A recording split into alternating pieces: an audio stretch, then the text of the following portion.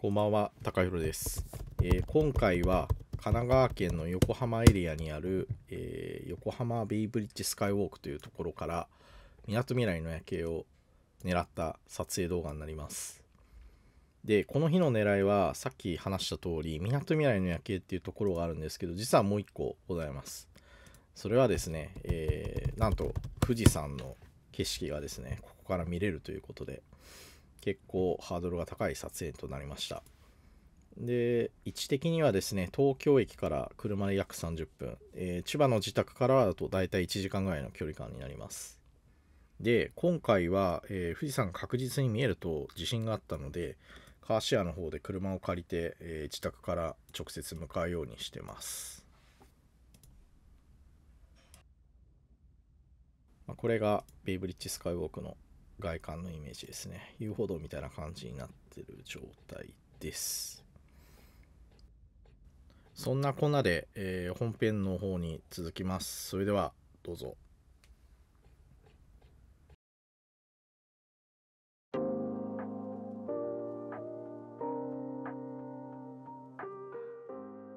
えー久々の収録っていうところでちょっと緊張してますが、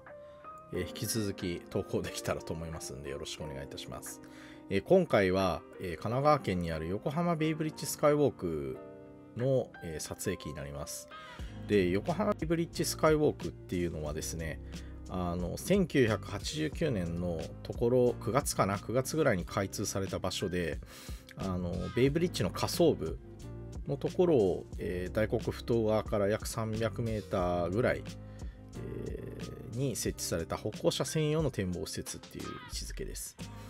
で、えっと、ただ、道がですね、途中で途切れてるので、これ使ってですね、あの、みなとみらいの方には向かうことはできないという感じです。で、あと特徴的なのは、えーここからはですね、え、みなとみらいの夜景と富士山を狙うことができます。で、結構その景色はですね、美しいんですよ。美しいっていうか、個人的に都市景観の中で一番好きな富士山撮影になるんですけど、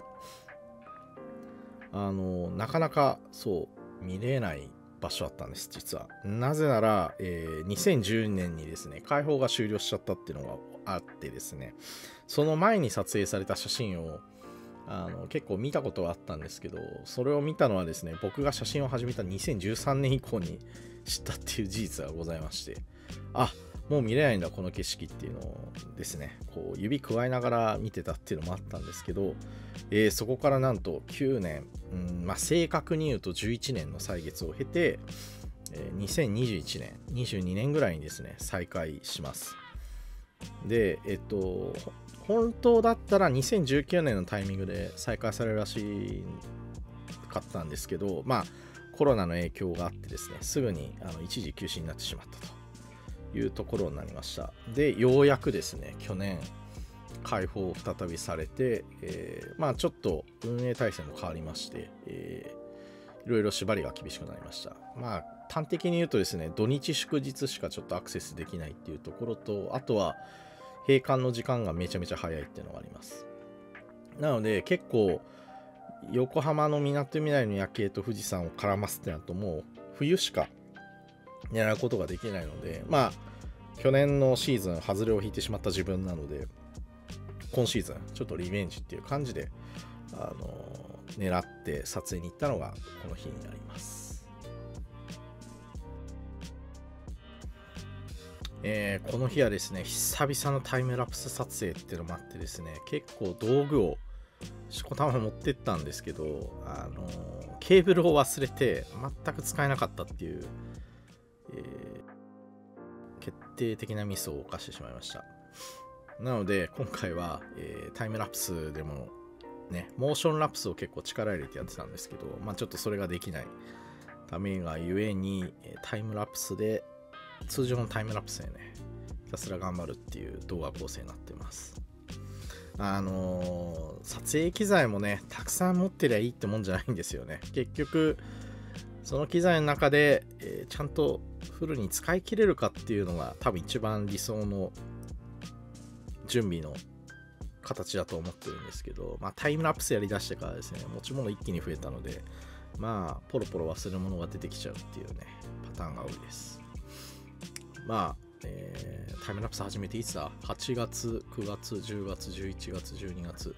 ま約4ヶ月ちょっと走ってきましたけど、えー引き続きですね、え来年も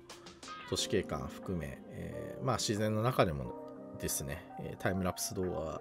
撮り続けたいなと思ってますんで、まあどうぞ2023年に引き続きですね、2024年も、えータイムラプス動画、えーおよびこのチャンネルよろしくお願いしますということで、一旦締めようかなと思います。えーそんなこんなで、あの現地に着いたと思いますので、これ以降は、えー撮影の動画、作品の方をですね、見ていただければと